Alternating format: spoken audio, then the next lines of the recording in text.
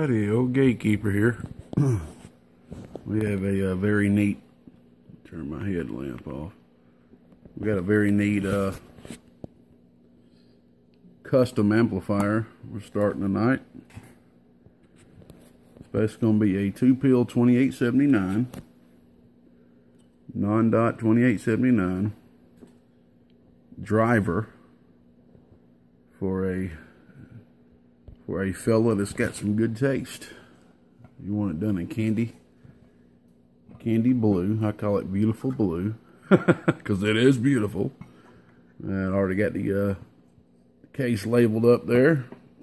I like to prepare my cases first. Got all the holes drilled out there. That's for the on, off, preamp. This right here is going to be pretty much his switch. He, he asked for a switch to where when he flips it with this variable turned all the way up, to where the box would be doing 150 watts, which this is kind of a trick question or a trick request, request in a sense, because the way these amplifiers work, however much you're putting into them has everything to do with how much you're going to be getting out of them. So you know, like 150 watts with how much drives the question. But the cool thing about it is he's going to have a variable and this switch. So he can pretty much find that sweet spot, meaning he can flip the switch on, turn that variable wherever he needs to with the drive that he's going to be using to where that box is doing 150 watts. And he'll know where that sweet spot is. Like, for example, he might need to take that variable and just crack it back a little bit flip the switch on, and uh, there you go. So, all right, man. Well, I already got the transformers uh, wounded, caps on it, everything uh, wound up, prepared, spinned up. Let's get this thing built. Got a, uh, a couple of custom uh, things to do. Uh, uh, wire-wise, he's going to have a couple of different wire connections he's going to use with this. I'm to have to order a special terminal for the back, too probably do that within the next uh, few weeks. This is going to be kind of a slow build. I'm going to kind of work on since I'm so busy. I'm going to kind of work on it a little bit here and there. So I'll get them terminals uh, ordered within a week or so. I'm going to be ordering a pretty big order here in about a week. I'll probably order them then maybe. We'll see. He basically wants to hook his his radio up to this box and feed from the power from there. You know, it's just a request. You know, I'm here to fulfill people's request. I'm a boutique type amp builder, customized to the brim. Old gatekeeper said it. We'll be back. All right, Rick. All done with your uh, very custom GK200 AB. AB biased. I think I've already explained the circuit and everything. Uh, basically just went with a uh, simple voltage dividing circuit for the AB bias.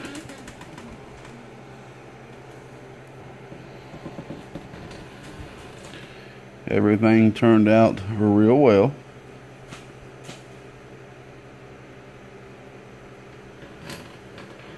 Boy, this thing is, is beautiful, man.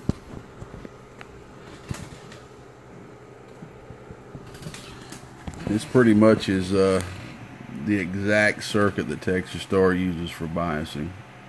Identical. The only difference is we got a relay here actuating the uh, DC voltage. So just your straight to the point, unregulated biasing circuit. And uh, Mr. Rick had quite a few um,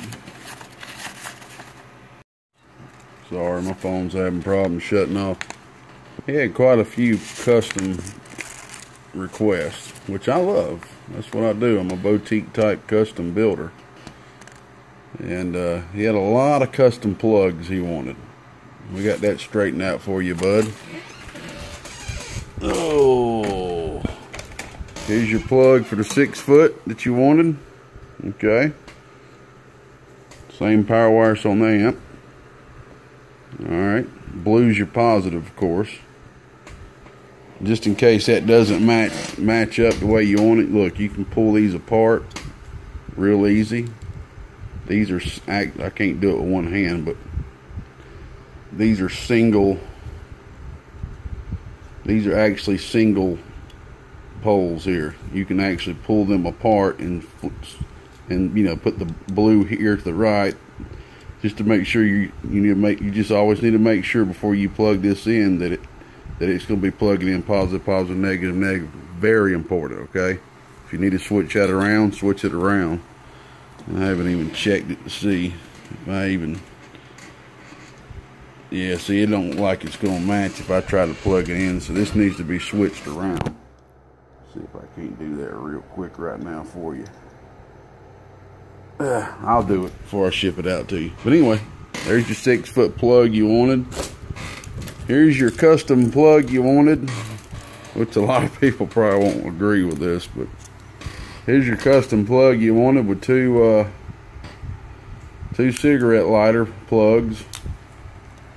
So you could possibly run this on a 20 amp accessory in your mobile. You know just you got fuses here in each uh, in each of the plugs you know just I wouldn't be driving the heck out of this box you know just kind of running on the low side we already talked about that this is uh, something that he asked for me to do first time somebody ever requested that so there's that plug for that. All right, you wanted the plugs on here, which we got on here now. And I think I already uh, pointed it out. He uh, also asked for a way to hook up his radio to the back of this box so he could power his radio in the box, you know, powers radio from the actual box. So there you go. There, there you go for that, man. The white is positive, black is negative. Okay. I even painted that white to match everything else for you. Um, got the new uh, preamp circuit, GK pre. Got your uh, protection diode right there for these. Whatever you do, be careful. Always hook this up properly. Negative, negative, positive, positive. got that uh, bead, got it wrapped as many times as I could fit on that bad boy to uh, make sure no RF comes from the box to your radio because you definitely don't want that at all. So uh, his next request was that he wanted a extra switch on here to where he basically could flip a switch like that and to make this amplifier do no more than, let me see, 150 watts peak. Because basically he wants to use this to drive a six pill with. So that's what I've done here for you, man. We got a basically a 50 ohm pad, okay, that goes to ground. Now you're going to have to tune this yourself, set this up yourself. You have a 50 ohm variable right here, okay? And this. So in conjunction with both, you have a lot of control on some input attenuation. I mean, we got pretty much uh, 7 watts in a sense with this, uh, 10 watts for these two resistors. So uh, heavied up on them for the drive that you'll be putting into this. Just keep those resistors from blowing if you know driving a lot for over a long periods of time.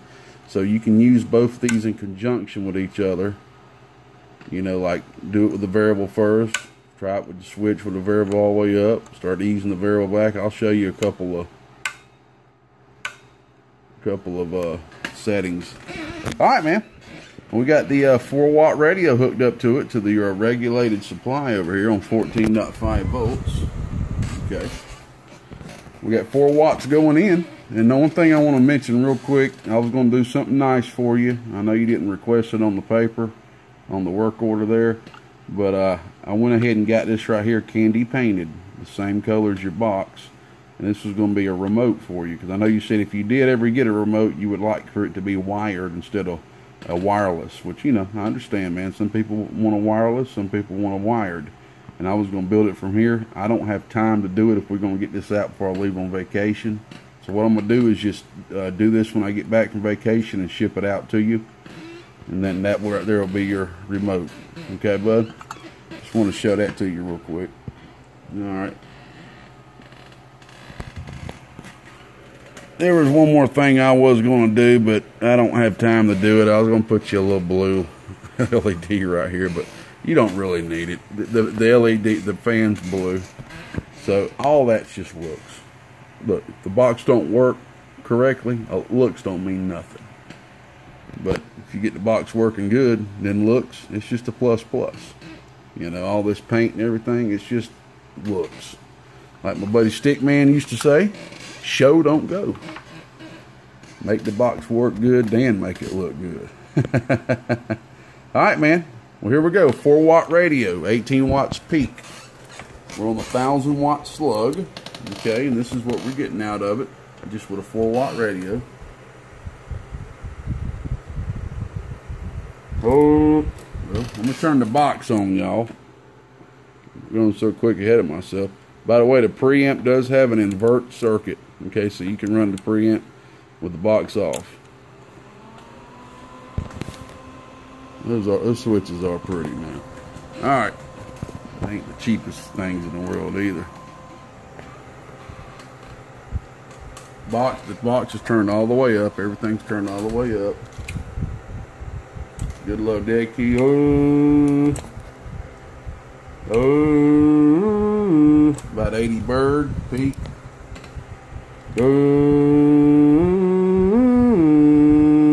right there, about 300 watts. What this thing talking of? About 250, 280? That's just for 4 watts going into this bad boy. Okay. So now what I'm to do is hook up the hot radio.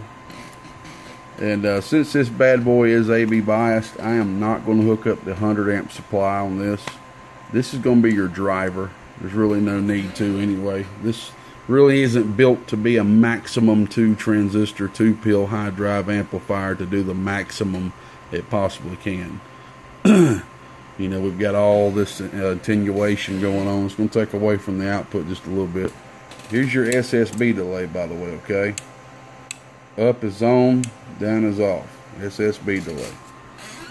Alright, let's go ahead and hook up the hot radio real quick. Just drive a little bit more into it and see what it's doing. Alright, we got uh, we're doubling our drive from 4 watts to 8 watts RMS, 18 to 20 watts peak to about 38 to 40 watts peak, okay? Stickman modified. Alright, RMS, 1000 watts slow. Oh, oh, oh, right there about 160, 180 RMS. Here's your peak. Right there about 380, close to 400 watts peak. Alrighty. like I say, I don't, I wouldn't suggest running a one pill into this thing or anything. All right, I'm gonna hook the bench radio back up. I forgot to show the input reflecting anyway. All right, so hook that.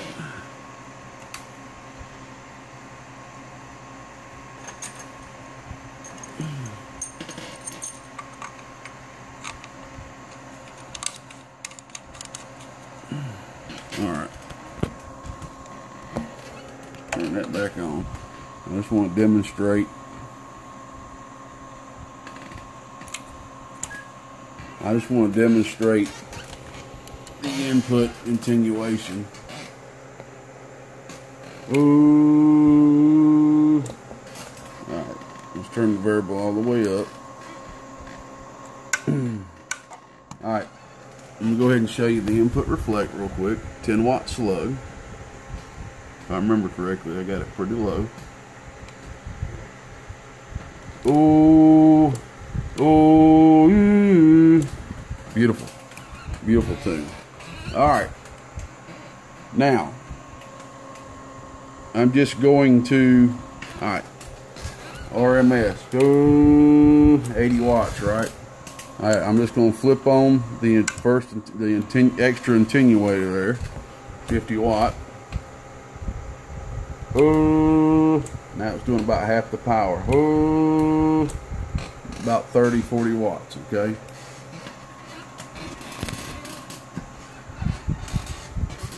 Flip it back. off. Peak all the way up.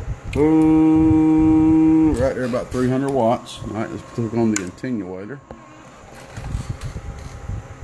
Ooh, that's right there close to 150 right there.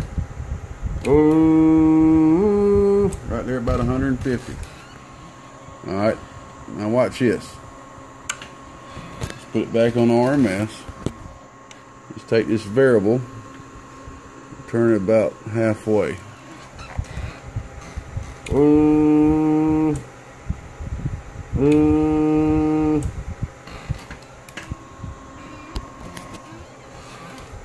Oh, about 50 RMS.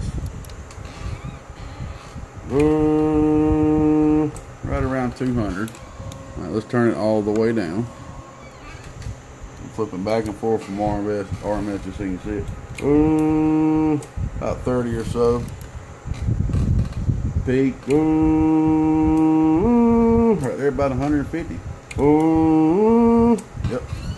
All right. Now, attenuator on, variable all the way back. Ooh, ooh, like 5, 10 watts peak. I mean RMS peak. Ooh, 50 watts. That's peak too, man. Ooh, right there at 50 watts. So that gives you a lot of control, man. All right, there's your GK200, candy painted, AB biased, unregulated AB bias, exact Texas Star biasing circuit, as you'll see in the Texas Star. Hey, I ain't got a lie to kick it. it's a beautiful box, man. One of these days I'd like to build me one. All right, man, we're gonna get this top on here, dude, and we're gonna hook up your six pill, buddy. We're going to drive this into the six pill. And uh, if I got time, I'll drive your Texas Star into it too, man. I'm, I'm, running very low on time. I'm supposed to be leaving right now. It's 5 o'clock in the morning.